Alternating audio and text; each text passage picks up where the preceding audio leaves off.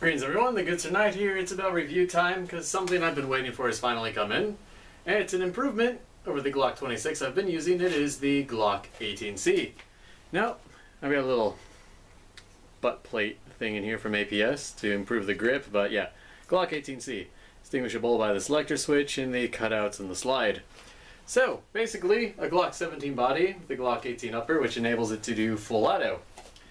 So I've been waiting for this to come in for a while, and now that it's finally here, well, we've got to test it. This thing's been around, been out for about forever, so if you're hearing about it from me, then you're pretty far behind the train, but I finally got around to buying one. Mag goes in, we ready it, and all sounds good, and we're going to be shooting our little GM target here because it's all about Xeon. So basically, your semi is going to be up here, so in semi you go it sounds really good. Put in full auto and we're asking ourselves, well, how fast does it shoot? Well, mind you, we're in Okinawa, where it's really hot and really humid, so the magazine's gonna get extra power. So in full auto, we get...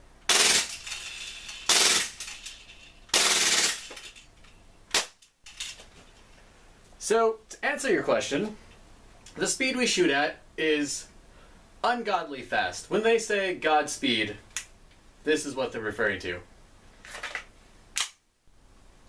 So, that's the Glock 18C in a nutshell.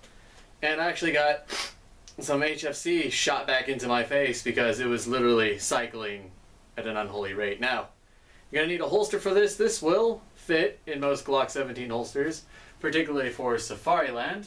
However, mine's not in yet. I've got my panel here, but I've only got my Glock 26 holster. So, as soon as this gets a holster in, I'll be running this. Alternatively, I'll probably get some extra magazines, and honestly, I could just do an entire, entire handgun run with one of these.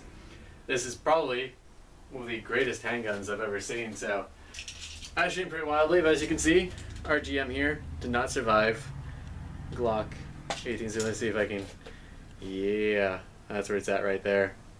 So, as I got, additionally, Glocks are incredibly popular and well known. Yeah, lube that up a bit. That should be dropping out faster. But yeah, so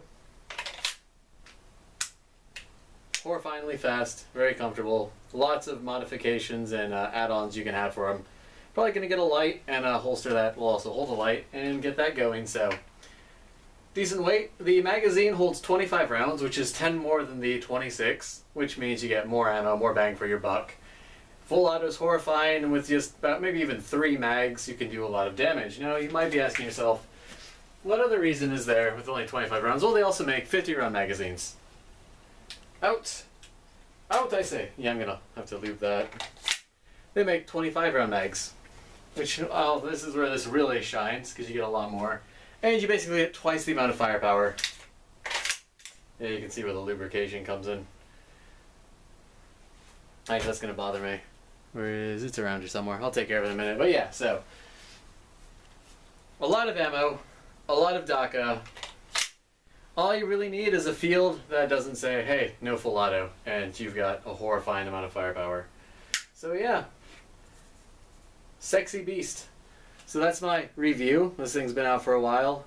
If you have a 17, well, you don't get to do the full auto thing, although technically it was just a swap out of the slide, because that's where the full auto is designated from you'd be okay. So there you go. Full auto, lock, devastating amount of firepower, and super, super sexy. So that's where the camouflage pattern comes in. So that's your quick review. Hope you enjoy me shooting it for the first time in my apartment in completely haphazard distance. So yeah, cheers everyone. I'll see you in the next video. Stay chivalrous.